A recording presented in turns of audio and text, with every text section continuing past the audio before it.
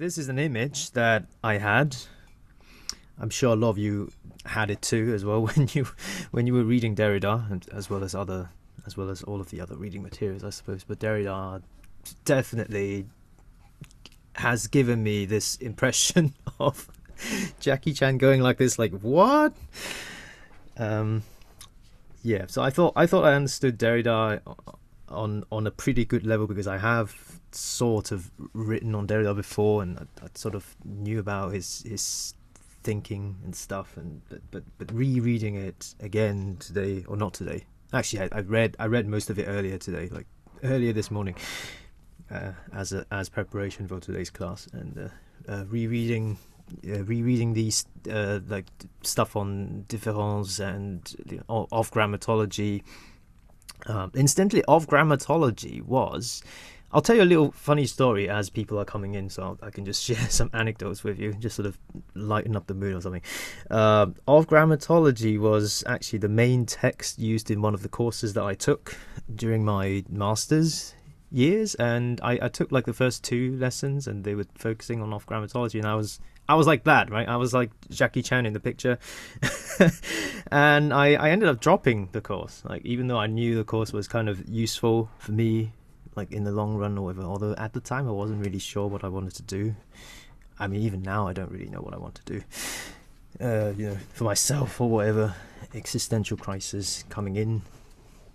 Um yeah so yeah so you know as fate would have it there's there's no there's no escaping. I think last week i mentioned i i purposely evaded deleuze in in my in my time when i was a student and i also i also avoided of grammatology when i was a student and they all they've all come back to haunt me kind of so i just find that to be funny. Um Speaking of that, I you know how I put off grammatology like the beginning of off grammatology as like the well not this one or uh, in in the reading materials right in the list of reading materials I put uh well différance being the the major text and the passage on différance it, it, it didn't come from off grammatology comes from another book by Derrida.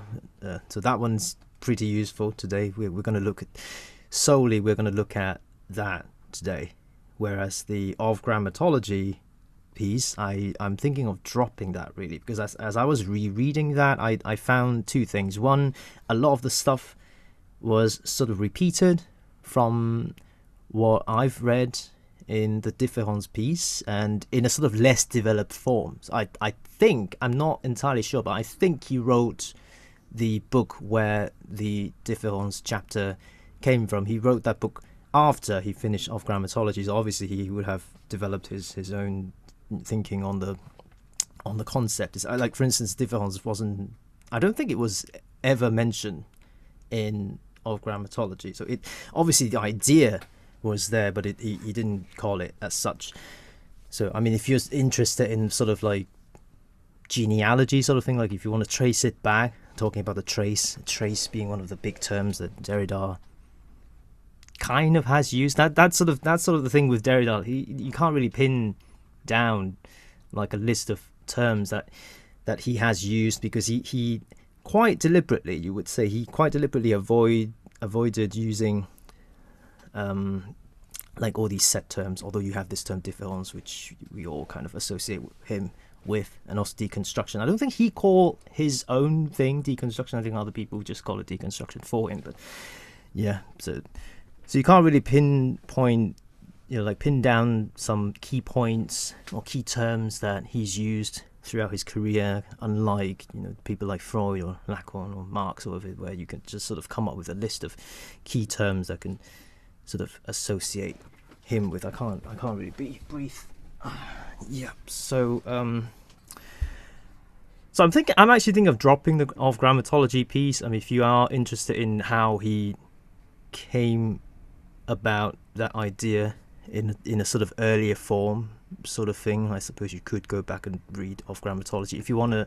If you want to experience this, like even more of this, then uh, then I suppose you could read off grammatology. Différance, the, the, the chapter on différance is slightly better, honestly, because I think he's he's sort of it it's it looks more developed, like the the idea of that of the deconstruction of the language and the like the relationship between speech and writing. It's it's it's sort of it's sort of more developed. Although on gra- of of grammatology is, is sort of focused on another thing. It's focused on the difference between writing and speech, whereas différance focuses on the mostly on the critique of the the Saussurean linguistic arrangement, signified, signifier, or the other way around, signifier, signified, chain, you know, the signifying chain sort of thing. Chain being another sort of key concepts in thinking about Derrida. He hasn't really used the word chain in his, in, in his own work, but his his use of the word trace actually has a bit of chain as a, as the meaning of chain in it. It's it's it's, it's very French. You know, the same word ha- can have a lot of meaning. That's a that's a very sort of Derridian wordplay sort of thing. So um, so in place of of grammatology, right from page six to twenty six, which is the kind of the first few chapters, I believe, I actually swapped in with Spivak's preface of the book because that was that was something I I realized as I was reading uh, the différance chapter. I noticed none of the things that I thought I knew about Derrida was there. So I thought, okay, they must be they must be in of grammatology then. So I went to of grammatology and read it, and then read it, and it it, it wasn't there either. And then I and then I thought really long and hard and thought about there are uh, other books that uh, other books by Derrida I've read before as well, but I don't think I don't think those things that I know about Derrida would have come from those. So I just thought long and hard, know, what else am I missing? And then I thought, and then I thought, aha, there's this preface by the translator of of grammatology itself that I remember that I've read. So that must that must come from there. And lo and behold, that's true. So I included the the preface, uh, which we will start today with. Is that the right way to put it? I don't. Let me just stop share and start a new share. Right. So, um, so a bit of a preface for today kind of like last time, like I, like I put it here. Uh, so, so last time, as a preface, I explained sort of Freudian concepts in when when as a as a sort of foundation to to understand Deleuze and Guattari, right? And uh, this time it's it's the preface of Derrida's own book of grammatology, written not by Derrida himself, but written by the translator uh, Gayatri Spivak, who some of you may know as the writer of. Uh, I don't know whether that's actually called that. Maybe that's just one section of it. But can, can the subalterns speak? You know, that sort of post-colonial musings, if you like. So he, she's mostly famous for that, but she's also the famously the translator of uh, Derrida's of Grammatos. For some reason, I can't breathe today. Oh my god. Um, yeah, so she's the she was the translator for grammatology. So obviously, uh, by writing the preface, she would have introduced her understanding of Derrida. So it was actually her understanding of Derrida that I that I understood, and I didn't actually I didn't actually read Derrida directly to understand Derrida. So this is something you can do. Like for instance, maybe this is what you guys are doing right now. Like you are understanding Derrida through my understanding of Derrida which kind of relates to what we're talking about today. It may or may not. I don't really know. I don't really know how today's going to go. Um, yeah, I know. I know today. Today might be the most this of all of the lectures that I've done. Um, so that that's the reason why I put this picture up front, just just as a sort of warning. I think. Uh, I don't. Know. Now, um, the funny thing about Spivak's preface to of grammatology is the nature of preface itself, not the content that the preface talks about, but the nature of a preface being a preface, which is something that Spivak talks about. So she, so she talks about how uh, I think it was, um, I think it was Hegel that that Spivak cites, and also by by extension Derrida also cites uh, Hegel's sort of uh, dislike of writing a preface, and this kind of resonates with one of the advices. Uh, speaking of like your midterm essays or your final essays or whatever, this is this is this happens to be one of the advices that I would give to students, where which is uh, you always write the first paragraph last, because the the first paragraph is supposed to introduce your main ideas as, as a sort of summary form, and sometimes you might find it really hard to come up with a good introductory chapter, but you have already come up with all of the smaller points that the later part of the essay would discuss. So why not write those first, and then after you finish those, you come back to the introductory chapter, and then you write that as a sort of conclusion slash summary slash summary. Incidentally, that's also why I named the first lecture conclusion. That's actually following the same sort of logic. The the preface being preface being the last chapter, preface being the last thing that the author writes, the introductory chapter being the last thing, being the conclusion chapter. So it's it's sort of it has this sort of um, so Spivak calls it retrospective nature, which you can sort of understand because you look at things retrospectively, and then you put that back in you put the summary back into the to the beginning for the reader to read first. But that's the last thing that you that you write as a writer.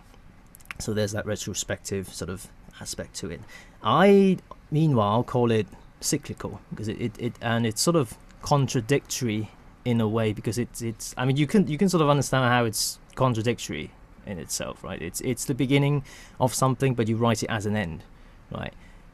Sort of like how I named uh, the the first lecture as conclusion. Some of you might be scratching your head, might be still scratching your head as to why I named the the first lecture conclusion. This would be part of your answer, I think.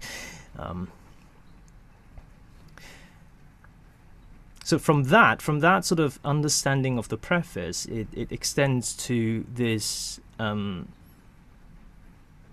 association with this sort of pairing, right? This this sort of binary, sort of almost like a binary pair. So you have the preface and the main text. The preface points you to the main text, right? If you look, if you think of the book, right, you read the pe- the preface or the introductory chapter. It doesn't it? It's the same thing. You read the you read the intro, you read the preface that points you to the text.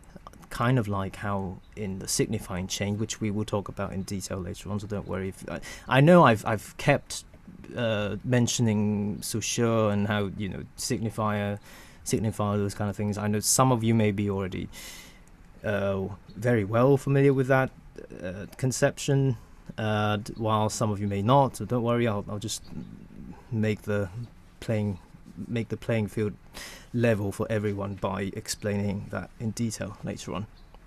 So the, the, the relation between preface and text that sort of related or that sort of equal which is why I put the equal sign there. The, it's sort of equal to how the signifier points to the signifier in the signifying chain for those of you who, who already know it. The, the preface points to the text, the signifier points to the signified concept. And this, um, according to Spivak and by extension Derrida himself, this, this sort of um, equal sign is what the Hegelian concept of the Aufhebung I don't speak German, but I think that's that's how you pronounce it. Or in English, I'm. Some of you maybe may have heard of this term before, sublation. Um, it's sort of like a made-up term that that Spivak came up with as a as a sort of translation of the Hegelian concept of having something sublated don't worry if you don't understand what that means because the next line I, the next line would try to sort of attempt to explain that in a little bit. Or sublimation making something sublime. That's that for me is not quite not quite an effective translation but it, it, it sort of has that meaning as well. I don't know. Uh, I think the German word, as they explain, Spivak and by extension Derrida, it explain when, the, when they explain this this term Aufhebung.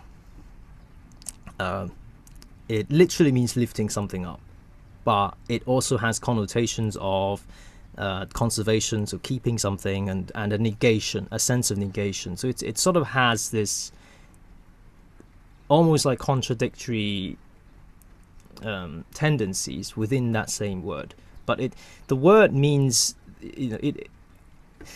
I suppose you can you can call it like making something sublime, so like taking something to the next level, i.e., the lifting up of things So making something I don't know to put it in plain language, maybe put it putting something more understandable, make it more concrete, that sort of thing. I, I think I think that's fine for you to sort of understand it that way. Um, actually, let me look at that because uh, I, think I want to look at this. I want to look at this for now. Uh, o, OG doesn't mean original gangster, obviously. It's of grammatology. Um, so if you recall, I don't think whether I've explained this, but the dialectical relationship, which which I sort of used as as a as a Marxist sort of uh, relationship or Marxist sort of theorization, right? The, the dialectical way of thinking how there is a thesis and an antithesis so there's a positive way of looking at things and a negative way of looking at things and you combine them together. That's actually not a, a marx thing. That's that was that was, that was actually started by hegel. Because hegel influenced marx. Uh, so dialectic is a, is a process of Aufhebung. So you could you could sort of understand this concept of Aufhebung as this you know this sort of contradictory two contradictory uh, tendencies coming into you know coming together right the negative and the and the positive and forming something sublime right um, every concept is to be negated and lifted up to a higher sphere in, in, in which it is thereby conserved. In this way, there is nothing from which the Aufhebung cannot profit. However, as Derrida points out, so Derrida finds something about this Aufhebung concept problematic. There is always an effect of difference. Oh, okay, don't worry if, if you don't know this yet. Just keep all of this in mind as we go along. I, I think I'm I'm sort of using. You remember how I said this whole thing is cyclical, right? Cyclical meaning the. You know, you have the cause leading to the effect but if it's something that's cyclical, then the effect would cause the cause itself, and then the cause would lead to the effect. So it, it kind of goes around in circle, and it's difficult to determine which to put first. Kind of like that sort of very old philosophical conundrum, like the you know whether the egg comes first or the hen. You know, it's kind of like that. The hen and the egg is sort of cyclical. You don't know when, you don't know which one to start from. You don't know, you don't know whether to start from the hen or to start from the egg. So this this is why. This is why I'm starting. It feels like I'm starting in the middle of things. Like I'm in, I'm already using the term différance without even defining it. But it, it's sort of like I'm using the hen to explain something, but the hen needs the the the egg to explain but then you know the reverse would be true as well. If I start with the egg, then I'll have to explain it with the hen.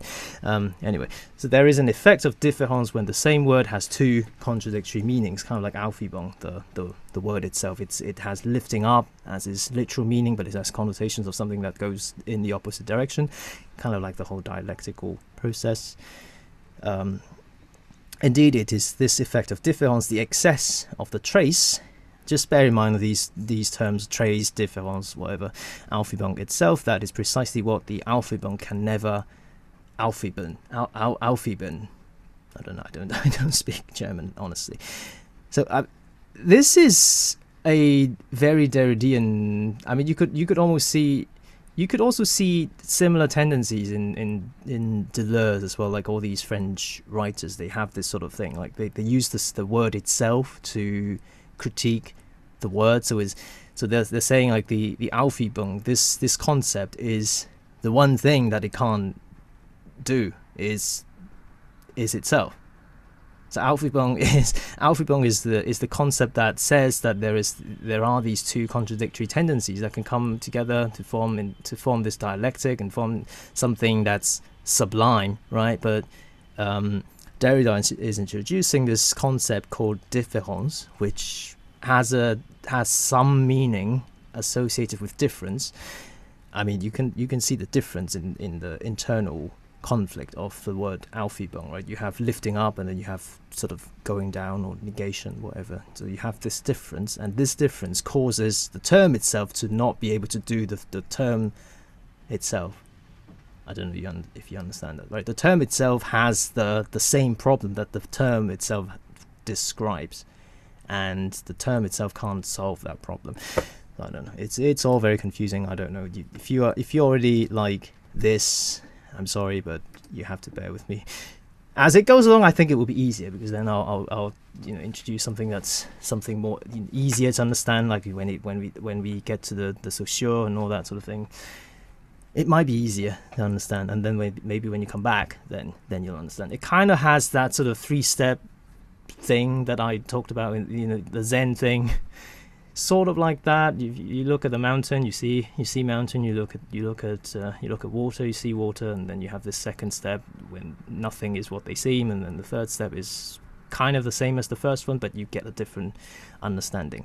In my hen versus egg example, you understand the hen first, but then you need the egg to understand the hen, so you don't understand the hen. But then I introduce the egg to you, and then you think back, you look back at the hen, then you understand the hen. So it's a hen, egg, hen kind of relationship. I don't know. So we so we're done with the first hen bit. I think I, I should probably stop talking. Um, go back to Derrida now. Uh, deconstruction is the thing that he's most famous for, but what the hell is it? Right, deconstruction it is um, one way to look at it is that it is against logocentrism. Uh, so I looked up uh, the dictionary, or at least online websites of the dictionaries like Merriam-Webster. They have this websites. I looked up the the explanation. I think it's sort of okay, but I like this one better. This is this is the definition that came from my own little dictionary app that comes with the, the computer. If I could drag it out here, and it says it's from Oxford. I don't really, I don't really know whether this is true, but we'll just go with that because I think that's the easiest to understand. The logocentrism regarding words and languages as fundamental expression of an external reality, especially applied as a negative term to traditional Western thought by postmodernist crit- uh, critics, which is kind of what we are here in this course. We are all postmodern critics, and we are critiquing this idea of using uh, words and language as a fundamental tool to understand things. Right? That's logocentrism or lo- logos, right? Logos.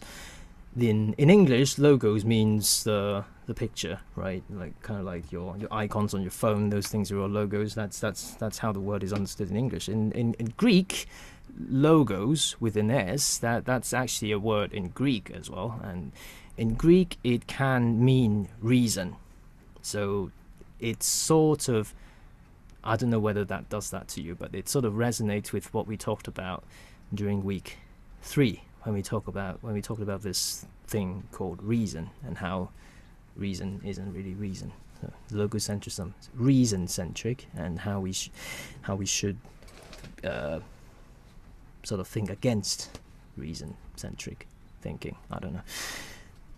Uh, deconstruction is not quite the how the word is constructed, right? It's it's not it's not the opposite of construction. So definitely not destruction. It's not it's not breaking something. Deconstruction isn't breaking something, although it kind of is. Part of it is breaking something, but it's it's not just destruction. Deconstruction is still kind of a construction. So. Uh, but definitely con- not construction either, right? Because otherwise they would have just called it construction straight away rather than deconstruction. So it's something that's neither destruction nor construction. Uh, construction is an- another word for construction in our context would be structuralism, i.e., or for example, the Saussurean semiology that we will talk about later on, or you know, kind of the, the Freudian understanding of the unconscious, which we may talk about later on today as well. So those kind of older ways of understanding how the world works, which are very ordered, very structured. You have all these terms, one term meaning one thing. You have a system of the different terms. You can just slot everything very neatly into place. That's structuralism, and in this sort of context, you can understand structuralism as construction, and deconstruction is definitely to go opposite to that sort of tendency, but not to be confused with destruction because we're not trying to break everything. We're still trying to build something. Uh, if you recall last week, this is a point that I forgot to mention last week. I, some of you who stayed behind and asked questions, they, they ironically, they actually got to hear this bit because I, I was like, oh, this is a this is a point that I forgot to mention. But anyway, I'll, I'll just tell it to you now to everybody. Uh, you remember how schizophrenia? Uh, if you have read the reading, because I haven't I haven't really uh, mentioned this last uh, last time. So uh, schizophrenia, according to D&G, uh, it's sort of a counter production. But if you remember how they the the starting point, their starting point was that everything is a machine that produces things, right? So everything is a uh, a production. So schizophrenia is kind of producing something as well, which is sort of what they what they mean by uh, adapting a schizophrenic way of thinking because it's it's a, it's just a different kind of production. So by calling it counter production, they don't mean exactly to stop production or to anti the production, right? The, the the exact opposite of production. They're not they're not they're not saying that. Um, uh, Buchanan, who I used as a secondary reading for for the for the Deleuze, he actually put it in a more obvious which by extension makes it less obvious because it it sort of makes things even more confusing. Uh, he puts it anti-Oedipus is not so much pro-revolution as it is anti-counter revolution. So you see, this is there is a sort of double negative thing going on, but by going double negative, it it doesn't mean that it goes back to the original thing. Kind of like how you know the three-step Zen thing I keep mention I keep referring to, right? The third stage of understanding. When you look at a mountain, you see a mountain. You look at water, you see water. That's not the same understanding as when you first saw the mountain and the water. So when you anti then counter the revolution, it, it's not the same as the original revolution, which was the uh, Evenement, the 1968 uh, movement right? That was that was sort of the backdrop of um, of uh, why Deleuze and Guattari they they wrote that they wrote those two books kind of at the back end of the of the failed revolution. It was failed because nothing really changed after that revolution, and so they was they, so they were thinking of ways to they weren't exactly opposing revolution obviously because the status quo is not something you know we need to break away from the status quo. So there there has to be a revolution but the revolution in in the first degree right and on on the first stage of that three three stage zen thing or the, the hen egg hen thing if you if you prefer that you know it that's that doesn't work because of may 68 it didn't work. So instead of countering it you you sort of play a double negative on it and it became some something else. And that's sort of similar. That is a similar way of understanding what deconstruction means. So it's not destruction. You you, you sort of put a put a double negative on the concept of construction. So you kind of break up, you break down the construction, but then you um, sort of put it back again.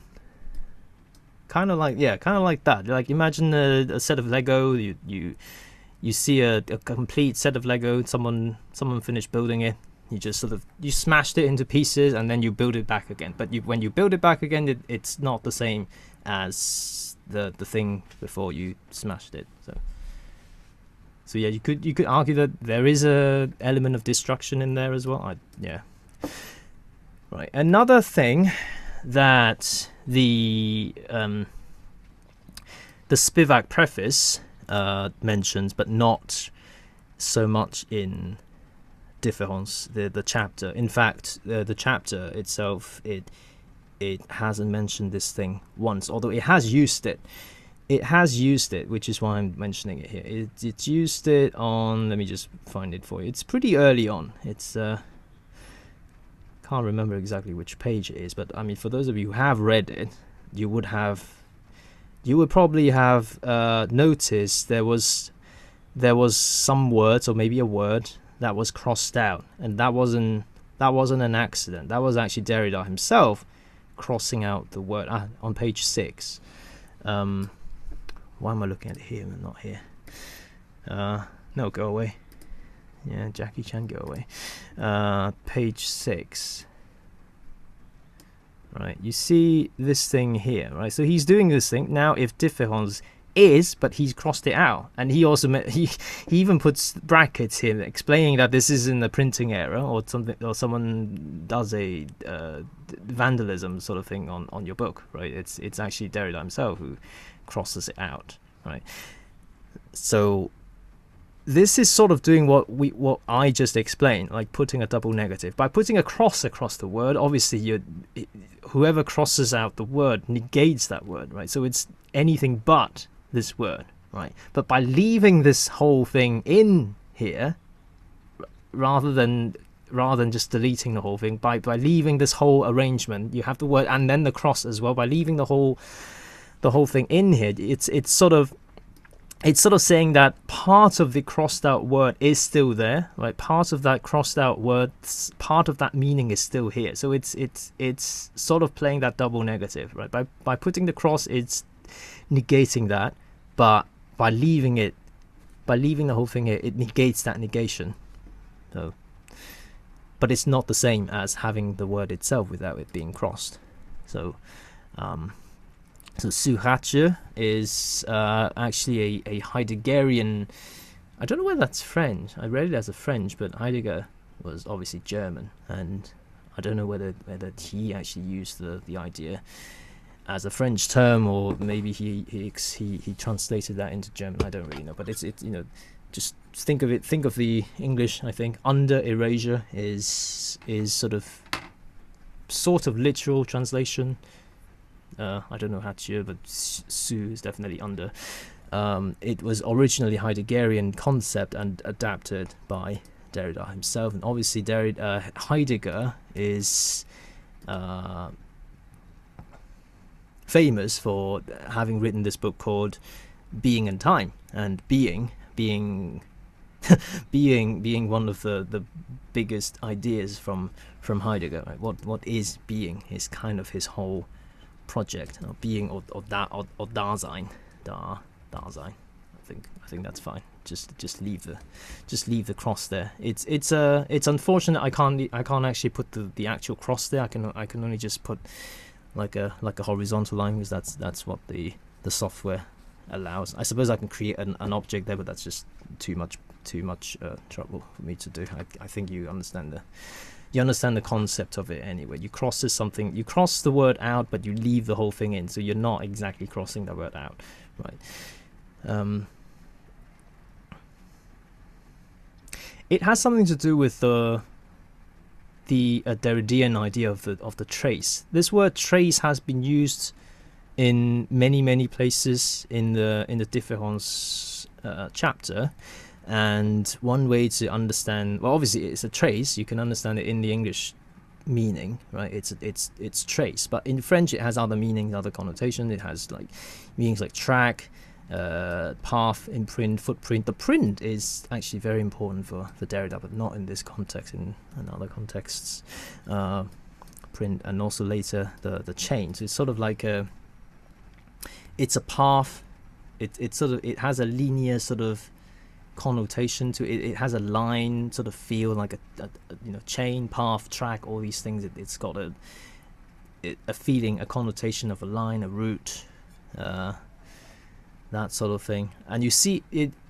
The trace in doing that crossing out is the process of doing that, right? So first you have the word, and then you cross out the word. That's the second step, and then the third step is you leave the whole thing in. So that whole activity, that whole enterprise has left this trace in, and this is the trace that this trace, this idea of the trace, because you can trace it all the way back to its beginning by looking at this this whole arrangement, right? You see what you see what the author has done. You can see that they've first written the word and then they crossed it out and then they left it in. So you see you see all you see all of that. Uh, you see all of the history of the term happening, and that's sort of what Derrida means, the trace. And uh, as Spivak mentions, the, the, the, the, word trace can substitute uh, with other terms that Derrida also uses, like archy. No, I think it's I. I think it's autocorrect. Uh, archy. No, I think E is fine as well. But anyway, it's something to do with archive. It's it's uh, archive being one of one of his sort of one of Derrida's um, one of the things that he's interested in, like the idea of the archive, right? How how something is being stored, how like you could you could sort of see the relationship because he's the one thing that he's interested in is is writing and language, and in, if you think about writing language, it's sort of a way to store idea, right? So it, it sort of has that that archival sense to it, but uh, archi writing and différance itself, you know, the term différance, you, according to Spivak, who is like one of your top Derrida experts, not this person here, obviously. You, if you wanna, if you wanna understand more about uh, Derrida, obviously go to people like Spivak. I don't know whether she's still living. I think she is though. I don't want to Google it. Anyway, um, yeah. So according to her, um, these these words trace archi writing which i believe you, you you you encounter this this term in in the in the chapter once or twice uh, if you don't know what the hell that means you can just according to spivak you can take up spivak's advice and swapped these terms freely right even différance the the big term that we're looking at today um, right so finally to to finish this uh, very confusing first section of today. I, I, I, I've uh, located this this quote quite late into the chapter, the, the différance chapter, and it reads, The trace is not a presence, but the simulacrum of a presence that dislocates itself, displaces itself, refers itself. It probably has no sight. Erasure belongs to its structure and not only the erasure which must always be able to overtake it, but also the erasure which constitutes it from the outset as a trace, which situates it as the change of sight and makes it disappear in its appearance, makes it emerge from itself in its production. So I think the simulacrum is not the operative word here, but it, it, it sort of is in our context, in this course's context, because we have talked about simulacrum, like simulation, all that sort of thing previously, and I thought it might be a a good sort of segue, a good sort of link to for you to think about between these two, to link these two two things together, like Derrida, the, the Derrida, the Derridian concept of différance, the Derridian concept of the trace, and how it's related to simulacra, right? This is something that I, I hope you've seen. I, ho- I hope you've noticed. This is something that I'm, I'm trying very hard to do throughout every lecture. I, I try to find uh, connection between the, the, the reading materials or the, the, the ideas that we talked about from different weeks, and I try to sort of sort of link them together and to try to make you see in a more confused way. yeah, kind of, because I, I make I make the network of understanding sort of way more complex uh, rather than rather than a linear fashion. I made it into a I suppose if you if you know Deleuze, it, it's it's a rhizome. It's it's a, like a spider web kind of thing. Instead of a, a single line, I made it into a spider web sort of arrangement, hence making it even more confusing. But maybe some of you like this confusion. I don't know. So simulate uh, simulation of a presence. Just think about. Just sort of keep that in mind as I as I eventually explain to you what différance is. I know it's kind of strange with of of using this term over and over again without actually giving you the definition, but that's sort of how how Derrida likes it. I I would like to think. Um, so this is sort of part two. Uh, différance. What the hell is it? It's spelt. It's sort of a. It's sort of a spelling mistake. Um, you know, if you have read the the différance chapter, you can sort of you can see it uh, that he sort of make this admission. Not so much an admission because it, it's sort of it's sort of um, obvious, right? Of course, if you replace the A, right? If you replace the A with the E, then you get difference, right? I know it's it's the French word. It's the same. The French word is the same spelling as the English, so it, it doesn't really make a difference. Um, although it's pronounced differently, which is why I've been pronouncing it that. Uh, différance, right? A instead of the E, it's sort of a spelling mistake, although that was that is a deliberate spelling mistake. Um, Derrida calls it a graphic difference, right? Because it looks different, of course, because the A looks different than the E, obviously, so it's a graphic difference. but that's as far as the difference ends because it's it's only written it's only look it only looks different it doesn't sound different that's what Derrida likes about it right because this is the reason why I like to I like to pronounce différance right uh, like in in the in the French way of pronouncing difference right or you could do you could do what Derrida has done in the in the chapter itself because I believe the chapter is like is his uh, lecture.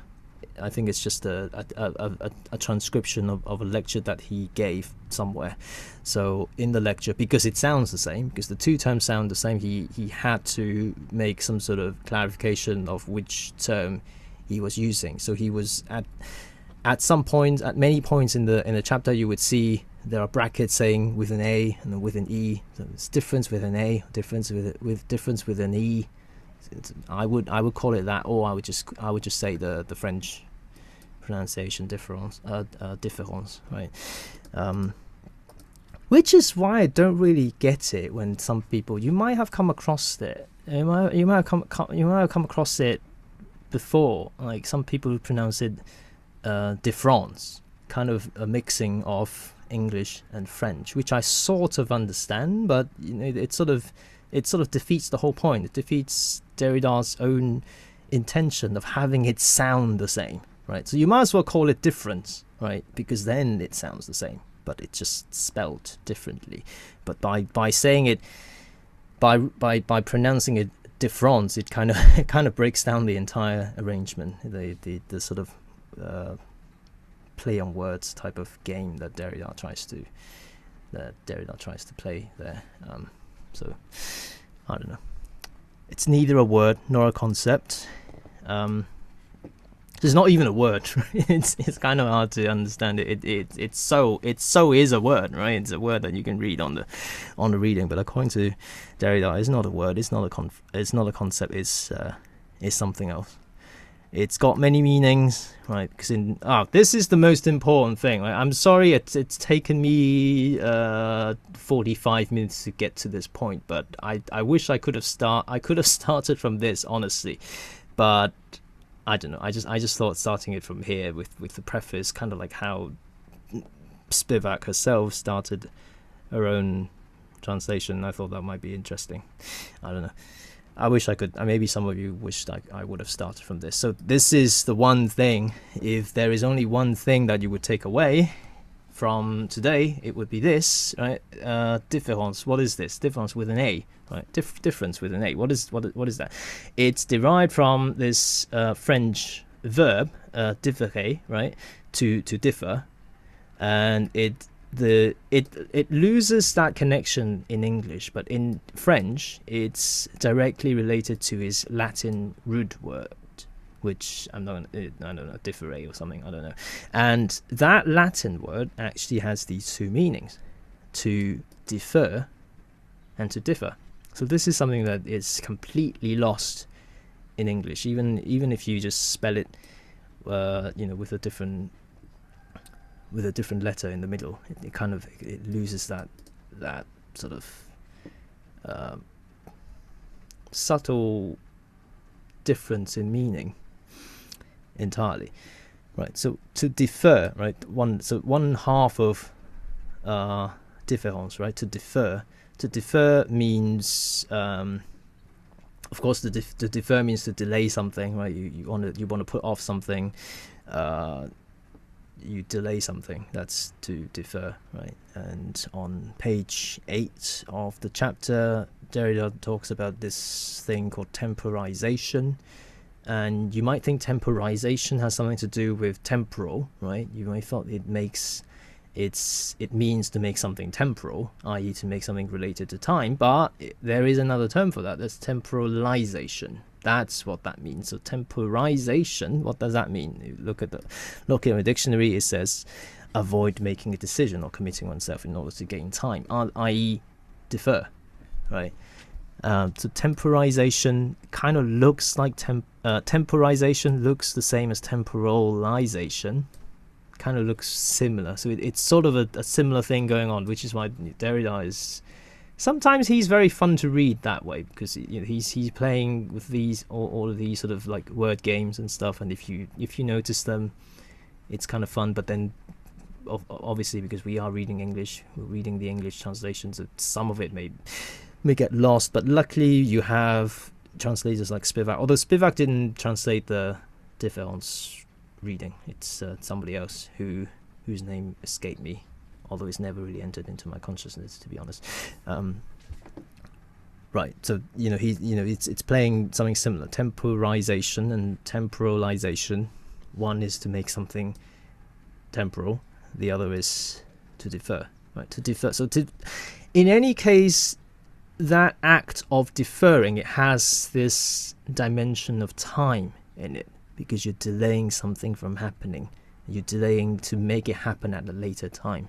So there is a relationship between present and future, or past and present, right? So just keep that in mind. Um, or, as Derrida puts it, the becoming time of space, or the becoming space of time, kind of making time as a space or making space as a time. I don't know if you if you understand that, then you will. You, if you don't, then I guess just just drop it. I don't know. Um, to differ is the other half of différance and to differ is easier, way easier to understand. It means to it means different, right? It means the word different that we all understand, right? The the ordinary understanding of that word. Uh, early on, he uses Derrida uses this this sheaf as a as almost like a visual metaphor, and I didn't know what a sheaf means. I looked it up. I still didn't know, and uh, because it's a visual thing, so that's not a sheaf obviously. That's just uh, an idiot. Uh, sheaf is something that something that looks like this. So you have grains. You have these um, you, when you farm these um, grains, and then you just you, you, cut them off right when when they're when when they're ripe, and you cut them you cut them off. Then you use a you use a string to to tie them up. And what Derrida is going for with this visual metaphor is this cutting and tying up at the same time right? You see because these two tendencies are kind of op- opposing to each other right? You cut something off means to separate something but then if you tie them back together you're making them together again. So i don't know. That's that's just that that's sort of how i understand it. So that's kind of what différance is. It's is is it's been that confusing thing that i i've i kept um referring to. There's two opposing tendencies going not against each other, but going going together, right? Um, so how is or how différance relates to, or how does différance relate to uh, the postmodern? To put it bluntly, it's it's sort of giving you tips or not, because it's all very confusing. So it, it all depends on how much you understand it. Um, you're giving you tips on how you can un- how you can answer one of those one of the uh, midterm questions that I suggested. You don't have to follow them. I think um, if we have time at the end of today, we might talk about that uh, in the in the last ten minutes or so. Um, so how's it related, right? So you can you can sort of see glimpses of how that works in some of the quotes that you can find in the chapter, right? Uh, some of, some of them are here, right? These, I, I believe this is page seven as well. Uh, différance, which is neither a word nor a concept, as we talked about before, strategically seemed to me the most proper way, uh, the most proper one, or proper way to think what is most irreducible about our era. He uses this quotation marks to to mark our era, which he hasn't really explained. There's no footnote or whatever, but we can we can sort of assume that he's he's he means today as in the as in the time when he was writing, which sort of is the same round about the same period as we are now in 2021. It's it's. I mean, he he was writing it in the late 60s, early 70s. I, no, I think late 60s. Round about the time when the revolution, uh, May 68. Not revolution because it was it was failed. So movement, right? That movement was um, sort of underway, and one way to look at our time is that it, post modernity kind of started around about that time. So we could look at this era that he talks about, as the same era that we are living in, and it might be convenient for you to think of to think to think of it that way. It is only on the basis of différance and its history that we can allegedly know who and where we are and what the limits of an era might be.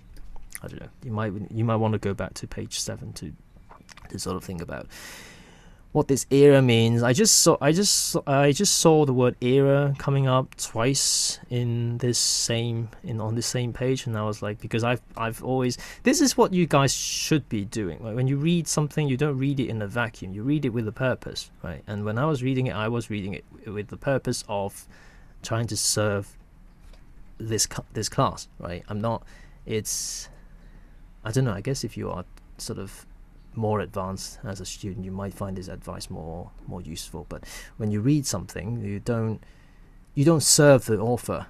It's something that we always accidentally. It's it's a trap that we always accidentally fall into. Right? When we read something, it because it's so brilliant, then we all we all automatically um, accidentally follow this author that we're reading. We follow this author's way of thinking, and we, we sort of we become them. And another way to explain that is we serve their purpose, but when you do research, when you write a paper, whatever, it's your purpose. That's the most important thing, right? So you you want to flip that that that script, and you want them to serve you, right? You want your your author to serve you. So here I'm making Derrida serve me, right? Derrida is my servant, and because he's mentioned the word era, and I thought it might be convenient to think of this era as our postmodern era, and we slot that in. It it sort of makes sense. So I don't know that that kind of makes that kind of flips the script of uh, of who's who's serving who. I don't know whether how much you understand it or not. I, I guess if you get more advanced, you might understand it. Um,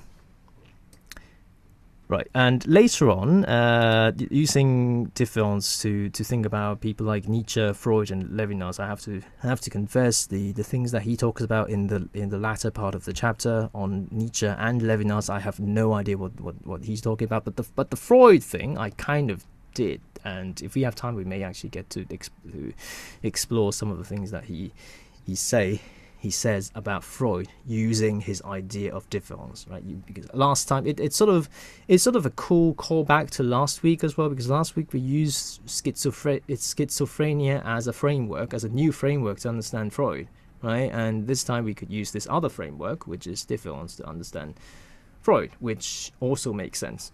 You, which obviously it would because you know it's Derrida who, makes it work. So obviously it would. Uh, so this network of um, you can almost say it's a network of these modernist uh, thought, right? A network of these modernist thought, and you reassemble, which reassembles and traverses our era. Again, the mention of the era with the quotation, again, no idea what he means, what he meant when he wrote this in the first place. But to my eyes, with my own purpose, with my very specific purpose, when I read it, I can only read postmodern era. That's all. Right. Um, reassembles and traverses our era as the delimitation of the ontology of presence. This is sort of if you, I mean, if you have. Uh, oh, I, I, I I make I made the Jackie Chan go away. But if you if you can bear that Jackie Chan going what experience, just if you can just bear that for just that little bit longer, and then you get to the end of that chapter, then you you notice that uh, Derrida doesn't stop at just uh, commenting on the nature of language and like signifier or sig- signified and whatever. He's he's actually extending that way of thinking by means of différance to thinking about presence, thinking about ontology of presence. Another way to describe that is the Heideggerian being, or you know, just all these sort of existential questions that you may have, like why are we here, or what is what is existence, right? That sort of thing. You could you could almost swap these questions with Heideggerian being as a as a first port of call because I myself haven't quite understood Heidegger myself. I haven't really read Heidegger myself, but so this is sort of my sort of basic understanding. Uh, I suppose I can sort of say a bit more about Heideggerian being like Heidegger. Obviously, Heidegger being one of the most important philosophers. He's not. He's not like the. He's not just some guy down the pub, just having having one too many, and he just he just said, "Oh, why are we all here? What is the purpose of life?" Blah blah blah. He's not just he's not just blurting out pseudo important stuff like that. Of course, he has a he has an actual he has a genuinely important question to ask, which is the which is this thing, ontology of presence, which is the um, the nature of being, right? Because you, you first you have first you have Descartes, right, and which also has relationship with Nietzsche, because Nietzsche also Nietzsche kind of extends that Descartes or that Cartesian uh, dictum in a way. You know, I think, therefore I am, right? Uh, so for for Descartes to explain being is the the thinking, right? Because I, because we all think that explains our being, right? We what is a being? It's it's it's some it's something, someone that thinks, right? It's kind of Descartes' treatment of it, which by extension is sort of how Nietzsche treats it as well. But Heidegger uh, kind of Heidegger go, goes one step further, which at the same time is kind of go one step backwards because he's he's he's looking at the question that should have been asked before that question, before asking what is being, and uh, he's he's sort of thinking he, he's he's sort of uh, hypothesizing that there's something that should happen. There's something that should be there before being even can be there. I don't know whether that, that kind of un, that kind of explains it or I think I put it somewhere in this note. Like it's the questioning of the question of being. I think that's that's probably a better way to put the Heideggerian question, right? It's it's always it's it's easy to question what is being, right? Why are we all here? What is the, what is the purpose of our lives? Blah blah blah, right? But the questioning of that question, I think that's what uh, Heidegger focuses on. So it it sort of has I don't know. Now that I think about it, it doesn't. But when I was preparing these notes, I kind of did think that it had. Right? It had this sort of. I thought it had this sort of uh, cyclical relationship as well because you have this. Um, I think it kind of does because you, if you can define what is being, right? If you can define what is being, then you can define that questioning of the question of what is being. But before you can answer what is being, you need to answer that question before it. But to answer that question before, you need to put it after. Sort of like the hen, egg, hen arrangement. I don't know. You have to take my word for it. I can't really explain it further because I don't quite know how. Um, anyway, where am I?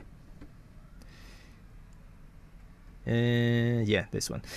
So, uh, so let's look at différance again uh, as a temporization, i.e., the, the deferring and as a spacing. The spacing here means the difference because there is a, it's almost like there is a gap between two different things because when you have two things that are the same, they overlap, right? And there is no no no space between them. But when you have two things that are different, then they're separate, and there is a gap, right? There is a gap between. So it's it's what is called the spacing. Right. And how are they joined? Right, this is the question posed by Derrida on page 9. Uh, so all the previous pages, page 1 through 8, they're all kind of rubbish. have to look at them. So he talks about the sign, and you know this is where we start to talk about the Saussurean linguistic kind of arrangement. The sign represents the present in his absence. Right? What the hell does that mean? Don't matter. Just carry on. Uh, it takes the place of the present when we cannot grasp or show the thing state the present, the being present. When the present cannot be presented, we signify. We go through the detour of the sign. Uh, the sign is the detour. We take we take or give signs. We signal. The sign in this sense is deferred presence. Right. So think about. So I put an example here. Um, I said he as in me. So let's say, let's say I I started this Zoom session. Right. I turned on my camera, but this person isn't here. Right. So I'm, I'm sort of, you know, kind of like kind of like this, right? I'm not here, and it's it's past 4:30 already. Class has already started, but the person isn't still isn't here, right? And you know, some of you may be typing in a chat, or maybe you, you turn on your mic and you ask other people, "Where is he?" Right? There is a he there, right? Where is he? That he is this sign because I'm not here, right?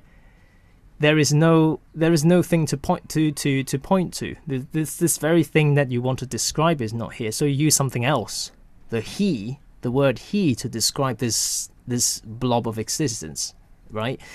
And that's a that's a deferral because I'm I'm not here yet. And when I arrive, then the he no longer functions. The, the he kind of the, the function of the he is finished. It, it, it, its job is done because you do, you no longer have to ask where is he, right? Because I'm already here. So there is no there is no he already. I'm already here. And I don't know whether whether that makes sense or not. right. So the he is the sign. You can think about you can think of other signs as well. Anything can be a sign. Um, oh, you have a you have a thumb. Oh, we have a thumbs up. Who gave that thumbs up? Thank you very much. Oh my god, I'm so glad. Tiffany. Yeah. Oh wow, Tiffany. Uh, yeah. So the he is like the sign because I'm not here. So you use this word to to describe this person or you use my name, right? My name is like a sign as well because my name isn't necessarily myself. My name is something else. You could, or actually, my name has that sort of Derridean thing going on because my name is pronounced the same as that certain Star Wars princess as well, right? you could sort of, you could sort of play a Derridean relation there as well. It's like, which one are you referring to? Yeah, I don't know. So that's what is that is that is what is meant by classical uh, semiology in the Saussurean sense. I don't know what. Why did I not put Saussure's? Ah, there you go. Uh, Saussurean semiology. Why did I? Why did I put it here and not there?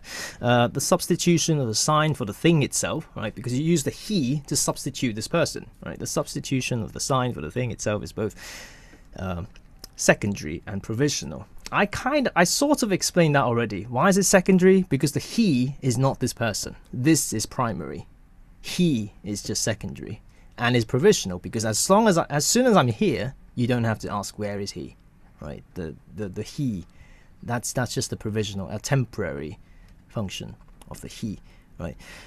Um, this is the bit that I, even I can't quite understand, but I suppose we should we sort of need to power through this. But the question of um, this substitution of the sign and you know the sign not being the very thing itself you know how this is all um, deferred and stuff and it leads to a question of the origin or the originary something. I put originary something. I, I sort of did a Derridean trick here. I put the I put the brackets here and the brackets actually do mean something. Uh, in in Derrida he, he, he, he describes it the originary différance.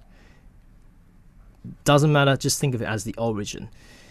Uh, in our example, the origin, you can sort of think of the origin as this person, right? Because when you ask where is he, there is an origin that you can trace back to the word he, which is this person, right? The so the signifier becomes the sign when the actual sign layer is absent, but therefore there is a deferred presence. Yeah, pretty much it, because because my presence is deferred, so uh, the signifier becomes the sign.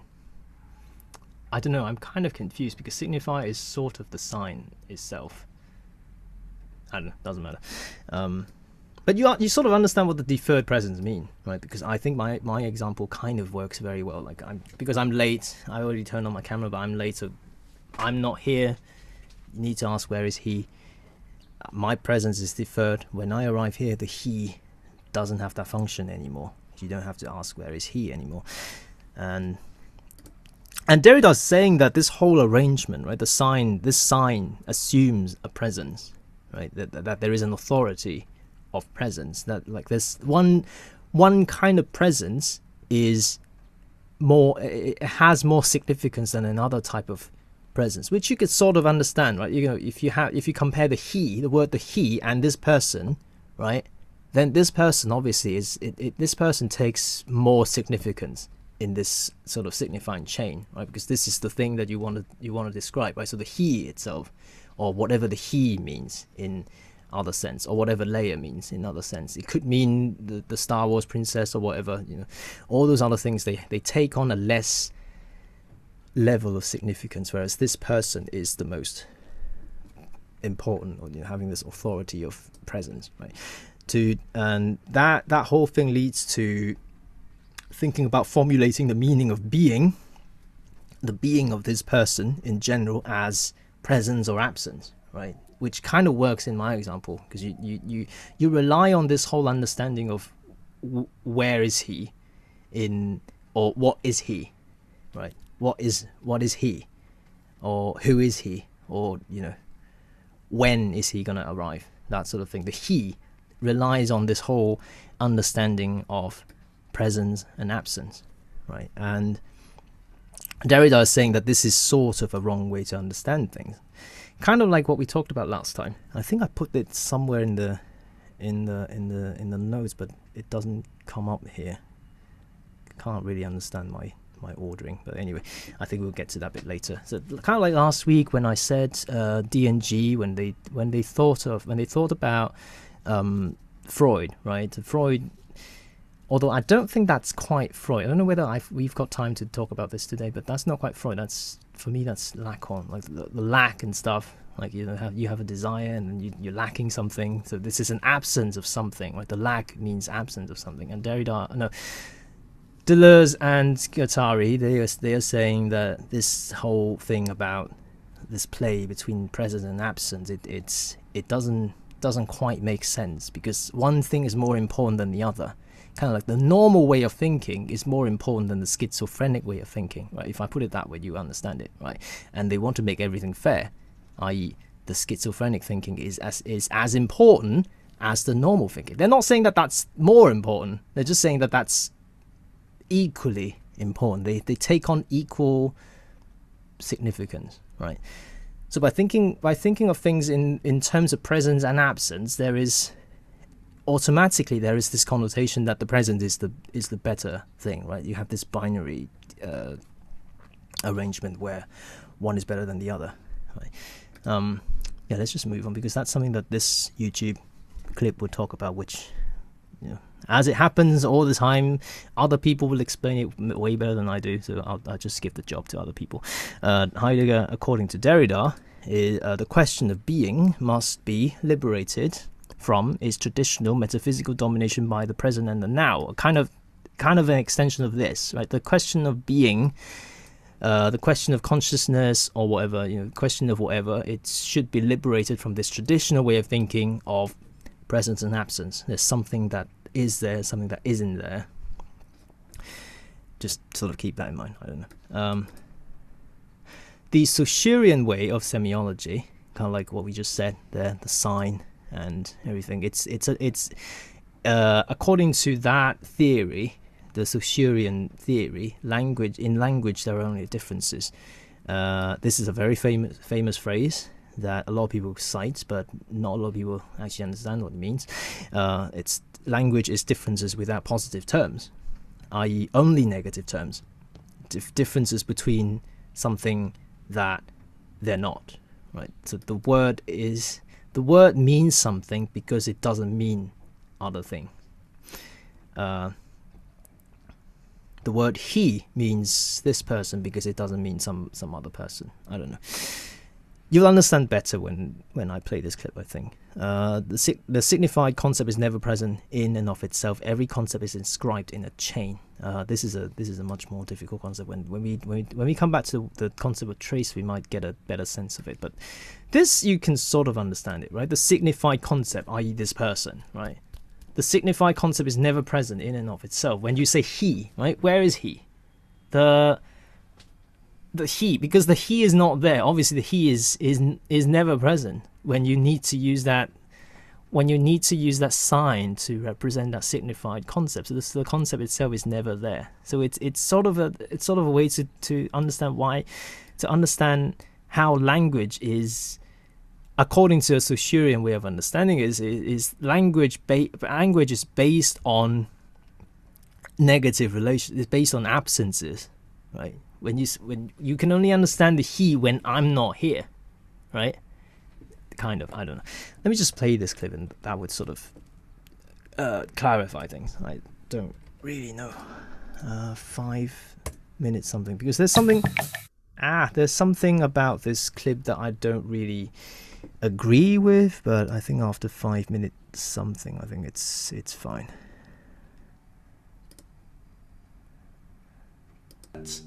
Saussure, teaching in Geneva at the beginning of the 20th century, said that meaning in language is produced by signs which have two sides, a signifier and a signified. The signifier is the word or image, sounds, writing a picture. The part that is sensed as an input by the brain, like the sound tree, the picture of a tree, or the written word tree. The signifier points to a signified the concept of a tree. The signified is the idea. It cannot be a real tree because people refer to different trees when they say the word tree. It's the shared human idea of a tree. For Saussure, the signifier and the signified are united in the brain like two sides of a sheet of paper. He believed that what gives signs meaning is the differences between them. Cat, for example, means cat because it's not a bat, mat, or gnat, and that it's given meaning because of its relationship with dog, mammal, four legged animal, fur, pet, catwoman, Batman, the list goes on. All of these are part of a structural network where signs all point towards each other to give each other meaning. Take a look at a dictionary. What do you see when you look up the definition of a word? Different words and when you look up those, more words, until eventually you're back at the first word. Derrida took this idea and built upon it. He said that not only were signs dependent on each other for their meaning, but that other signs were always present within the meaning of a single sign by what he called their trace. Take pig, pink, and big when you say or think pig, other concepts, signs, signifieds, and signifiers are literally present in the sign itself to define its meaning. The sign pig is also partly pink, big, small, dirty, farm, pork, ham, and animal, among a thousand other things depending on the person. All of these concepts are neither present nor absent in the signifier pig, but are identifiable in the concept by their trace. Derrida wrote that the trace is not presence, but is rather the simulacrum of a presence that dislocates, displaces, and refers beyond itself. The trace has, properly speaking, no place, for effacement belongs to the very structure of the trace. Trace is part of what Derrida termed différance, which means that meaning impossibly exists in the space between signs. He said that différance is the systematic play of differences, of the traces of differences, of the spacing by means by which elements are related to each other. This spacing is the simultaneously active and passive production of the intervals without which the full terms would not signify would not function. Derrida's fundamental point with all of these terms is that language is hugely subjective. Meaning differs from reader to reader, time to time, and so there cannot possibly be a shared truth that we can all access through one theory, philosophy, or institution. On top of this, Derrida thought that much of the tradition of Western philosophy was based upon binary oppositions, where one term or concept is given primacy, said to be more natural, have more of the truth in it over the other. Right and left, male and female, inside and outside, high and low, speech and writing. Many writers, consciously or not, write as if there is a hierarchy where one term is presumed more fundamental than the other. Taking all of this into consideration, we can look at Derrida's most famous work, of grammatology. Which we won't because it's too difficult and it's too much of a distraction. So that's it. I hope that this dude has explained to you kind of, you know, some of the things that I try to explain, like this binary relationship. This is the reason why it's not good to think of the relationships in in terms of presence and absence because there is a there is one one right and one wrong right? And if you all remember i said there is no right or wrong. That's sort of the postmodern project which is why i grouped derrida as being a postmodernist himself you know in this sort of tendency of treating everything as equal right? There is no right or wrong. Even the the supposed wrong answer can be a right answer.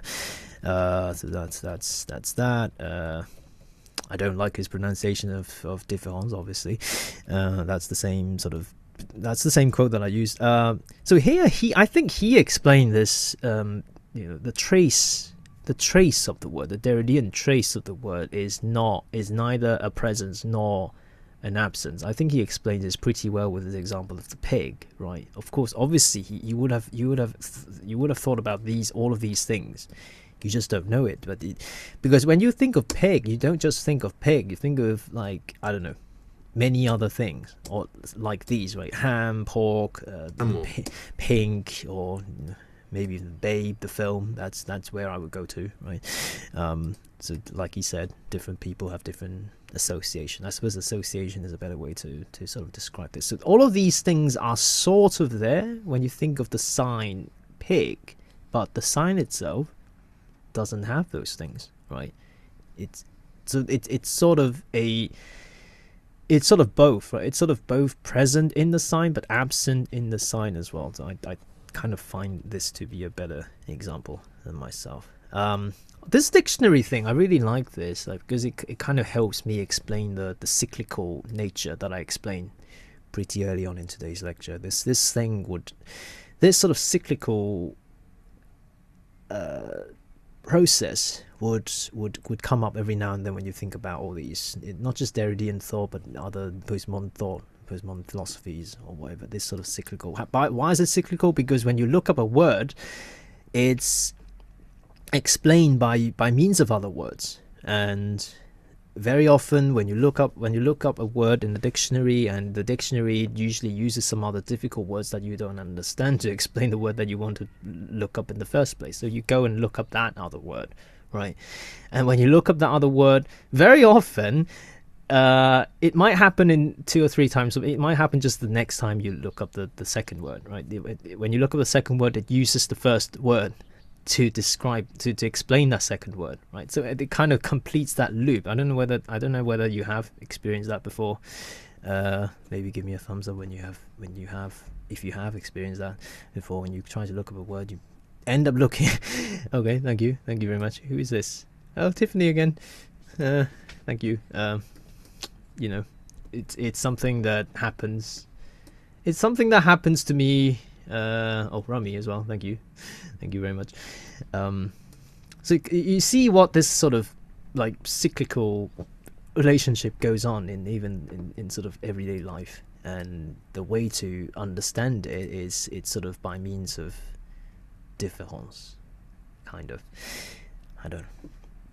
Uh, let me just go, yeah, very good illustration. Oh, very good illustration of the spacing as well because he he has this sort of graphical explanation right? He's, he's using all these different dots to to link up all these different signs right? And by and and between these dots there are these lines right? So you can think of différance as the line itself and not the dots but the lines that link between the the signs. It's sort of a very good illustration.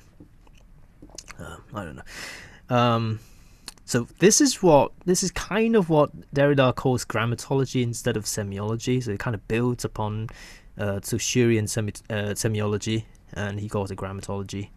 At uh, the book itself, it's it's talking more about writing. It's of the act of writing, and it's it's sort of one way to look at writing is that it is a signifier of the signifier. Right? If you think of language is already being a signifier itself, right? There is this there is this idea that you want to express, but you can't express it, so you use language to express it. So the language itself is already a signifier to signify the thing you want to write, and then you write it, right? You write it using language. It's sort of like it's it's already doing another signification. The writing is, if you think about it, if you agree with Derrida's thinking, writing is a signifier of a signifier, which means it's not really effective at all.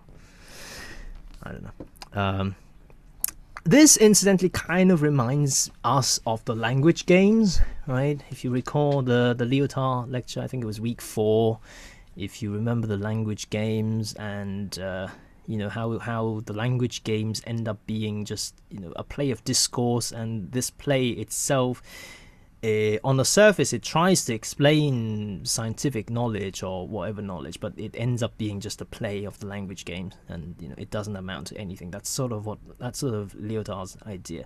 But in Lyotard's arrangement right the language games every player of that game they know the rules right nobody would break that rule. That's the whole point of playing these language games. So like every scientist, when they write the scientific report, they know exactly what kind of language they would they need in order to write the report. And you know, lang- language. Now, Lyotard is arguing that by having the scientists writing that report with a you know with a certain way, right, it ends up being the whole enterprise ends up being the writing of the report rather than the presenting of the idea itself because the idea would have to conform to the writing of that report, right? So it, it has to conform to the language games, right?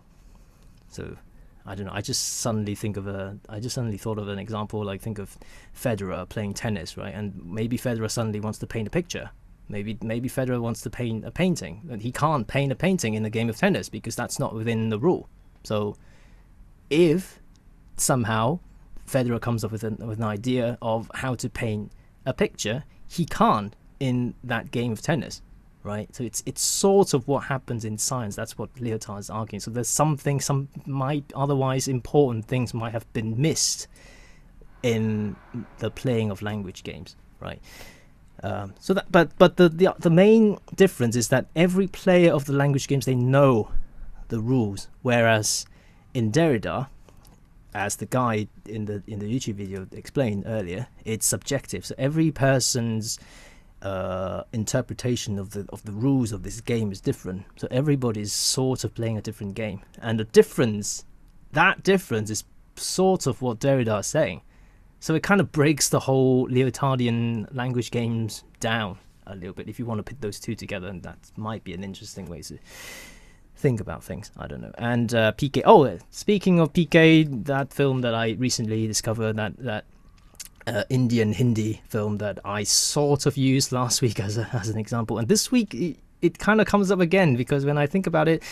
If you have seen, I have uploaded it on on Moodle. I, I would highly recommend you guys to to watch it. To, it's unexpectedly actually works pretty well. It, uh, it works very well to think about the ideas we've been talking about these past two weeks, right? In, in the in the DNG week and in this week as well. In DNG, you have this figure of the alien thinking in a completely different way than a normal human person. So you could argue that the alien is a schizophrenic person. So that fits last week's topic. Whereas this week's topic, he uh, he actually very the, the alien the character the alien character actually very explicitly describes the nature of language. And he says you know in in his uh, species there is no language because there is no need for it.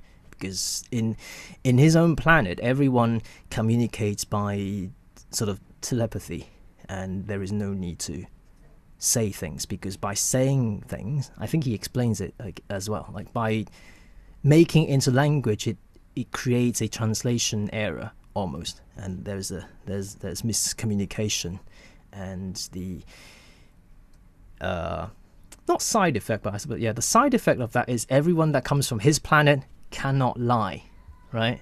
And if you think about it, if you use language, you can lie, right? Because language, why can you lie? Precisely because language doesn't mean the very thing that you want, want it to mean, right? If you communicate with others, kind of like PK's own people, and you know, they all communicate with telepathy, then there is no, there is no need for language, but there is no existence of lies as well. Speaking of lies, I think Spivak in her preface, he actually calls preface as a lie. Because all prefaces are lies. I can say all introductory chapters are lies. Every book, I can guarantee you, every book that you've read, every every book, every preface, every introductory chapter, they would have they would have been written last right? So that causes the lie, right? Because by calling it preface, by calling it introductory chapter, whatever, it, it has that connotation that you have to read it first, but the author hasn't read it first, right? The, the, author wrote it last? Of course, you can argue writing and reading is two different things. So you could argue it's not it's not so much a lie, but I quite like the fact that Spivak calls it a lie. And yeah. Anyway, where am I? Uh, probably should move on and sort of slow. But I think yeah, I think we've catch we've, we've caught up. Uh, I quite like this phrase from Derrida in the in the Différance chapter. They have not fallen from the sky, fully formed. So the the difference between signified and or signify and a signified, right? The diff- the, the, the relationship between or the relationship within that signifying chain, right? That it it it they have not fallen from the sky fully formed, and by that he means that these are man-made, these are produced, these are manufactured, right? Differences have been produced, are produced effects, but they are effects which do not find their cause in a subject or a substance, in a thing in general, a being that is somewhat present, thereby eluding the play of différance. What is written as différance then will be the playing movement that produces, uh, by means of something that is not simply an activity, these differences, these effects of difference.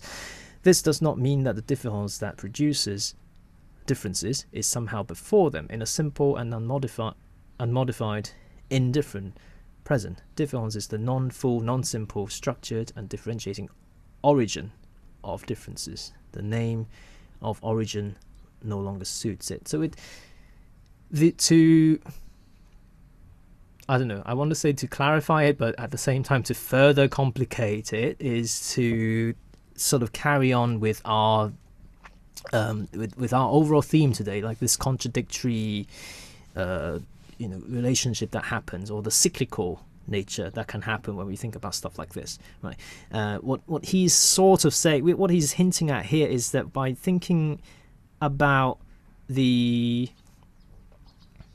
this signifying chain, right? Because they these things, like he said at the beginning, which is why I like this very much, right? They have not fallen from the sky fully formed. They are they are man-made, right? So first, so yeah, I would just use my later example. I don't I don't I don't think I have time to wait. Uh, so apple is the word apple is that right? Is is the red fruit, or it could be green, could be yellow. I don't know, but it's it's the fruit, right? But this relationship, it didn't. I can say you know we can safely say that there there was a beginning to this, right? There must have been a first person who called the red fruit apple, right? The red fruit itself didn't tell people that I'm called apple, right? People have to have come up with the name apple. So there there must have been a day where there must have been a day when that fruit wasn't called apple and then just one day somebody decided that this fruit is called apple right do you, do you, see what i mean right so there is a there is an origin to that relationship right and by thinking of thinking in terms of origin it, it kind of flips the cause and effect chain uh, in reverse kind of like the hen egg thing right it you know apple apple apple or the, the fruit doesn't really matter. Apple comes before the fruit or the fruit comes before the word apple. And it, it kind of confuses with that cause and effect relationship. And what Derrida is saying is by thinking of uh, différance, right, which has a a time dimension of it and the space dimension, it thinks of it thinks about deferring and differing, right? that's the that's the origin of differences and origin itself it doesn't it doesn't suit like it says here it doesn't suit this whole argument because by thinking like like for instance if you think about um, the origin of the egg right which one is the origin there's no answer to that so obviously the the idea of the origin when you think about the egg and the hen right it doesn't it doesn't fit you can't think of you can't think of this problem in terms of origin in terms of cause and effect, in terms of all these traditional way of thinking. But by différance, I can't quite adapt the way of différance in, in thinking about hen and egg. But you, you, could you could sort of swap, you could sort of slot uh, egg and hen in this diagram that this guy has written or drawn, right? It's just part of a of a bigger network of things, and there is no first, there is no last, right? There is no beginning, there is no end. Everything sort of happens at the same time, and it kind of negates the need of thinking about origin, which I don't think we have time to talk about this, so I'm just I'm just going to give you give you the fast version of it. Like f- the whole Freudian enterprise, right? The psychoanalysis, or whatever. It's just looking for origin. If you think about it, right? You know, there is this person, you know, having these mental issues or whatever, and the the psychoanalyst, what is he doing?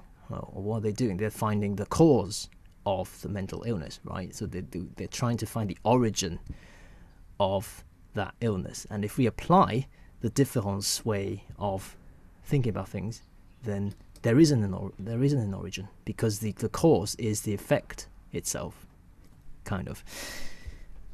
And cause and effect doesn't apply, uh, even though we're looking for a cause. I mean, we're look we're sort of looking at the. I mean, by deconstructing here, we're deconstructing the semiological arrangement by looking at it. We're sort of looking for the cause. Are you looking for the reason for this whole uh, linguistic uh, signifying chain. But uh, this is what Derrida says. We then would have to speak of an effect without a cause. Uh, I have attempted to indicate a way out of this closure of this framework via the trace. So it's it's pretty much repeating what I said. Um, you know, if you think of origin, then there is a hierarchy you know the, the word that this guy used right? The hierarchy of things right? Presence absence there are, there's a hierarchy. The presence is higher than abs- absence right? If you think about the origin there is a hierarchy. There is an order. There is an order of things right? One thing happened before something else. So the hen happened before the egg. But I think that's the best example I can come up with because if you if you say the hen comes before the egg, that definitely is wrong because you could you could flip that around and that would still work. So that contradiction, that conundrum is almost is almost proof that there are things in this world where cause and effect just simply doesn't work anymore, and it can only work by means of a trace. Uh, I mean, you could you could think of trace. I mean, if you look at the word trace in this ordinary like English meaning, then you would think you would say that oh, this is just this is like a, a police investigator trying to trace, uh, you know, the killer's step or whatever, trying to trace back to the origin. Hence, it, it's sort of a, a, a counter argument way to tell you that that's not what Derrida means by trace. Right? What Derrida means by trace is is is absolutely something else. It's not that linear arrangement anymore. That linear arrangement, the cause and effect. It's not to trace back to the origin. It's it's print. It's the imprint. It's the footprint.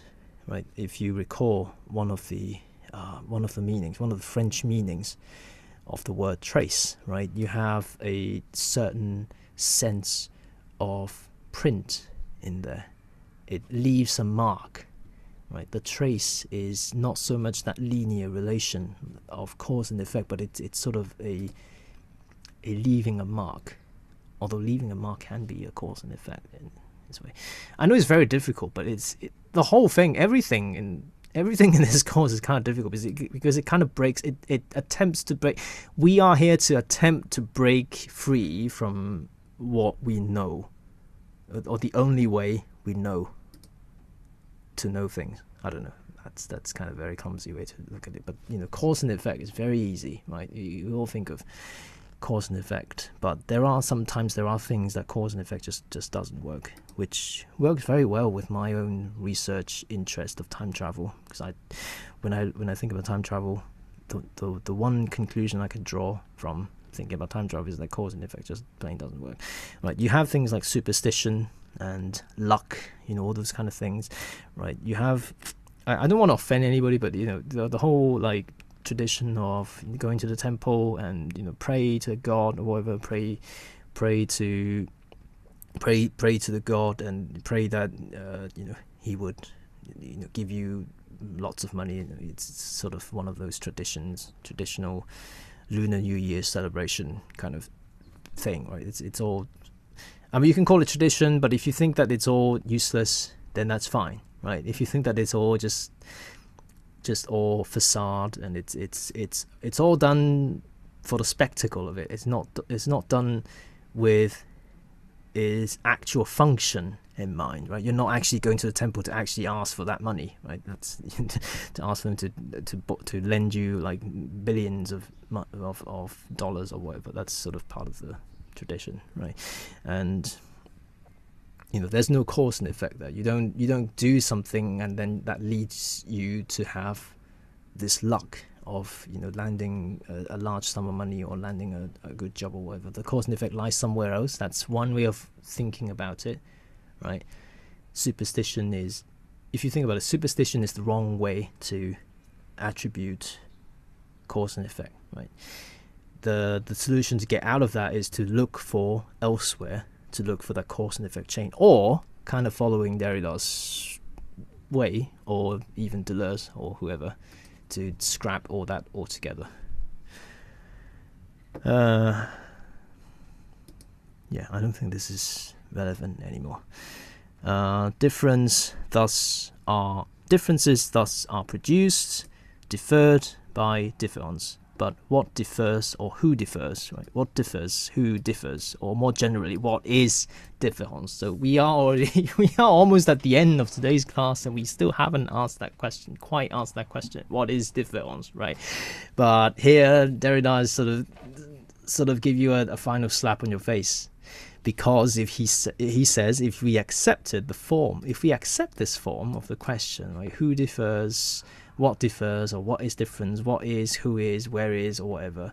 And this kind of makes an assumption that there is a there is a definitive there is a there is a, a concrete way to define what dif- what difference is and it sort of goes back to that whole cyclical nature of it right because you need to know in order to ask this question you sort of need to know that there is it is sort of there in the first place, right? Because if you don't, if you know, do you know what I mean? Like the assumption is that there is this thing called the definition of difference, which is why you ask this question, right? You ask what is difference because you have made that assumption that there is a there is a definition of difference, i.e., that assumption leads to the existence of that definition already. So it kind of it kind of forms that same loop the the hen egg hen thing, right? The the definition comes before you even ask the question,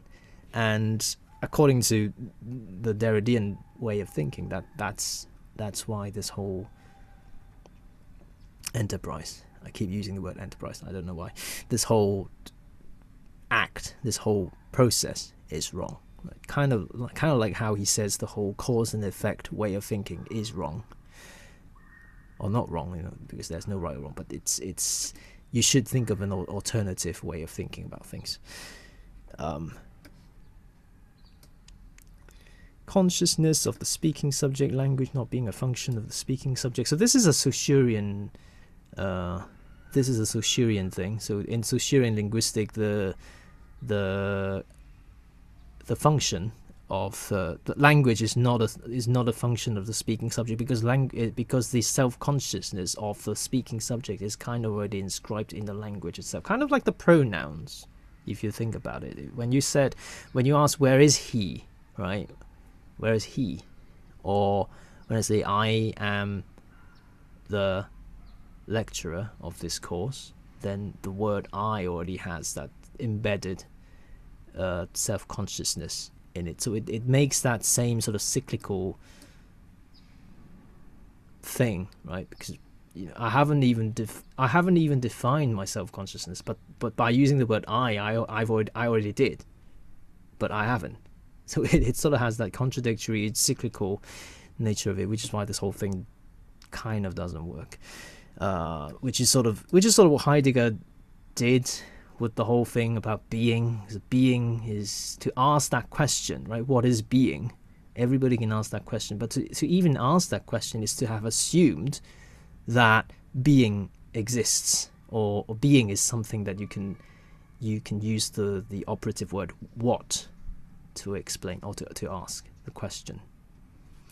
So Ah, this one I really like, but I don't know whether this is actually related or not. But uh, this is one of those very famous examples that, that are associated that are associated with Heidegger. So think about the hammer that you use to nail some nails on like on some wood or whatever, and Heidegger. I'm not I'm not entirely sure how in what context Heidegger uses this example. I I just find this example illuminating in thinking about this sort of contradictory nature of things, right? So when you use the hammer to hammer the nail, right, you don't think of the hammer. Why? Because it works. Because the hammer works. When the hammer works, you don't you just get on with it. You don't look at the hammer, you don't think about the nature of the hammer, right? What is a hammer? Why is a why is a hammer a hammer? Why does a hammer need to be in this shape? Why not another shape? Why does it have to be this heavy? You know, all those sort of existential questions about the hammer. You don't think about them because you are doing the job right? You're hammering the nail onto the onto the wall or whatever. You that that thing works because the hammer works. Then you don't think about all those questions. It's only when the hammer doesn't work, then you start to think about those questions, right? When you think about it, the hammer doesn't work, the head of it falls off, or the hammer is not heavy enough. The the nail keeps bending, right? For those of you who have done your IKEA bookcase assembly, whatever. Sometimes you have a crappy hammer, or you or or the person hammering it is is crappy. Then your nail would bend, and then you can't really nail the board into the into the other board. Then you start to question it, right? You question why is it failing, right? So when the hammer works, you don't make those, you don't ask those questions, and it's only when it fails then you'll start to ask those questions. So does that mean that when it's working, then the nature of the hammer isn't doesn't matter anymore, right? It only it's only when it fails then it, it then it matters. You know, you see where that contradiction is, kind of, right? The same thing happens in um, in Freud, right? This is this is a bit that is found in not in your reading, so I have to sort of uh, you know I don't know. I don't know. I don't know how many of you actually go back to the reading to read things after lectures or whatever. Maybe you just forget about the whole thing. I don't know. But this is from uh, Writing and Difference in the chapter called Freud and the Scene of Writing. So he talks about, Derrida talks about Freud, right? Uh, an unsuccessful repression on the road to I'm just, I don't, I don't want to, uh, maybe I'll read it. On the road to historical dismantling, it is this dismantling that interests us this unsuccessfulness which confers upon its becoming a certain legibility and limits its historical opaqueness. Repressions that have failed, right, will of course have more claim on our interest than those that may have been successful, for the latter will for the most part escape our examinations. This one is easier to understand, maybe as easy as the hammer example, right? You know, if you have repressions that are working, then that patient will no longer be a patient. That person would just be living normally. They wouldn't have a nervous breakdown. They wouldn't have hysterical so and so. They wouldn't have what was that word called? Neurosis. That's a psychoanalysis psychoanalytic word. They wouldn't suffer from neurosis, so they wouldn't go to Freud to talk about their problems, right? And then Freud wouldn't know about their problems. Freud wouldn't know about their repressions in the first place. That's not to say that they have repressions within them, right? It's it's actually ironically you can say that the repression is working really well in those people. It's so well that they don't have to go see Freud, right? So Freud can't look at those cases when when you think about it, when Freud wants to look at repression, wouldn't wouldn't it be wouldn't it wouldn't it make more sense when he looks at the successful cases rather than the unsuccessful cases? Because if you think about it well, all he looks at are the unsuccessful cases right? The unsuccessful uh, moments that re- repression breaks down. It's because when repression breaks down then you have all these like mummy issues daddy issues oedipus blah blah blah. You have all these things happening right it's not to say maybe i have those issues as well but i don't you know i i make you know the repression within me it's it's working fine that's why I don't have those problems. That's why I don't have Oedipus complex or whatever. Maybe I do. I don't know. I really don't know. But that's the whole point, right? The repression works. It, it, wouldn't it make more sense when he looks at when the repression works, right? But by it, it sort of recalls that relationship, um, you know, before the cause and effect or the hierarchy of presence and absence, right? Language is one of those things right? The Saussurean arrangement of language is it puts the it puts the emphasis on the absence, right? And here, the Freudian project, it puts the emphasis on the failure, on the absence of the success of repression. And when we look at the hammer, when we actually think about the existential problems of the hammer, we, we actually that's predicated on the absence of a successful hammer. And you know that isn't that all very ironic, right? So I don't know. That's sort of interesting to think about. So you know, all these examples that they, sort of point to I don't know for Derrida at least it points to the the need to think about to utilize this concept of différance which can't quite be defined because it's not even a word nor a concept like Derrida said which is why Derrida has attracted probably the most criticisms that any famous uh, philosophers have attracted in the history of philosophy. Maybe him and Zizek, I don't know. Yeah, he's he's attracted a lot of criticism. Like a lot of people are saying, I think there is. I think there was once this letter signed by academics all over the world and saying they they should like kick Derrida out of the philosopher's circle if there was ever such a thing. they they didn't want to accept Derrida as one of them, like you know, because for for them Derrida is saying nothing but rubbish. He's saying something that doesn't make sense at all. But I don't know. I kind of like the guy. I kind of like this whole sort of postmodern. It's very postmodern.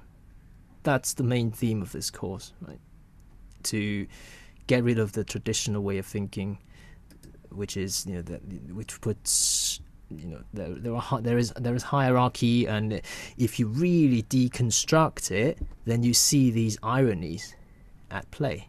And when you see these ironies and you you find it, you will realize that these old ways these modern ways may not be the the most effective ways to look at things. But if you post it right you post you use postmodern ways you question the ways themselves right rather than having the ways taken for granted, then you start to see things more clearly. Yeah. Right, so, you know, come back to the Saussurean linguistic thing, which is the easiest thing today to understand, right? The apple means that red fruit, right? Um, but différance, what différance is doing is trying to deconstruct this relationship. While so this, so what does this deconstruction lead to? Right after the deconstruction, the apple is still the red fruit. Obviously, we wouldn't say the apple is an orange after deconstruction. That would be stupid. So the apple is still that fruit, but at the same time, apple is not that fruit. Because if you think about it, it's apple is just a sound that we make by linking the two syllables together. The two syllables have nothing to do with the fruit itself. It has nothing to do with the taste, with the shape, with the you know the vitamin makeup, you know the the you know nutritional value, uh, your your even your emotions towards the fruit or I don't know the brand, the brand, nothing to do with that, right? It's just the sound that we make it's a, it's an artificial relationship that we, we forged to towards this this red fruit right? So it's at the same time. So by by way of deconstruction we deconstruct this relationship. We don't take this relationship for granted. But while we, we still agree with this relationship because apple is definitely that thing. It's not an orange. It's not a pear. It still it still works. It's still an apple. But we just add a extra layer of that understanding in that it's it's kind of the opposite of the original understanding, which is apple is not the red fruit, or the other way around. The red fruit is not an apple. But what is it then? It's still an apple. Which is kind of why it's so confusing. It's not an apple, but it is still an apple. I don't know. I'm not here, but I'm I'm also here. Which is kind of true though? If you think about it. I'm I'm referring to my my example of where is he earlier on. I'm not here, but I'm also here on this whole Zoom arrangement. You're all here, but you're you're you're also not here. So the, the whole Zoom experience is in in a way very Derridian, very postmodern as well. I don't know. So that's the end. That's every. That's all I've got for today. Uh, I hope you guys have uh, I don't know. I think the whole sort of Jackie Chan thing is still. I think that's a fun experience to have, right? You know, to be this. to go like this is actually a very good experience in a way because it, it, it kind of it's it's at the it's the moment when the hammer doesn't work right it's the moment when the repression breaks down so it's the moment when you actually question your own understanding right but you know when jackie chan goes that what he's actually in a way he's actually questioning his own intellect right? His own ability to understand things right? So i don't know. Just wanted to ask about the essay. Are we free to choose? Yes! Oh i'm sorry i'm so sorry. So I, like i promised uh, the the essay uh, midterm essay. Um, you are free to choose whichever concept that you want to focus on but um, even those at the tutorials. I don't know anything about the tutorials but i kind of i kind of have this uh, i don't know. I kind of want Abu Fazl to to to take the reins I, I, I give him full entire freedom because when I was a, or when I am, I still am. When I am the tutor, I kind of hated it when. well, I kind of loved it at the same time. It's very Derridian. I loved it and hated it at the. Uh, I love it and hate it at the same time when the when the lecturer tells me what to do or what to expect during the tutorials. So I, I don't know, but yes, you can choose whatever topic you want. But the the whole the main purpose is for you to explain the concept. I think, which is why it's so short. It's it, you're not expected to develop from the concept. You, you you just stop at the level of understanding the concept. That's it. To expand on the concept, to uh, adapt the concept to something else, something else that you've noticed, something new. That's the that's the purpose of the final paper. So I kind of want to make it a a two step sort of thing, sort of progressively work towards a better understanding of the postmodern way. So the first step would be just to understand the concept itself. Obviously, if you if when you when you explain the concept, you want to bring in some examples, you can, but you don't have to expand on the examples too much. You just briefly explain it. That would be fine. Um, yeah, I don't know. Don't no worries. I, I'm just I'm just worried. I'm usually worried that I, I made I made people more confused.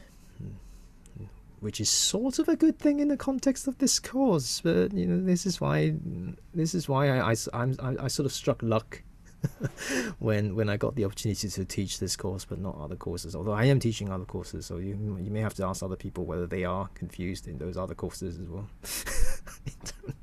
then I have no excuses, right? I have no excuses there, making other people confused. Anyway, any other questions or comments?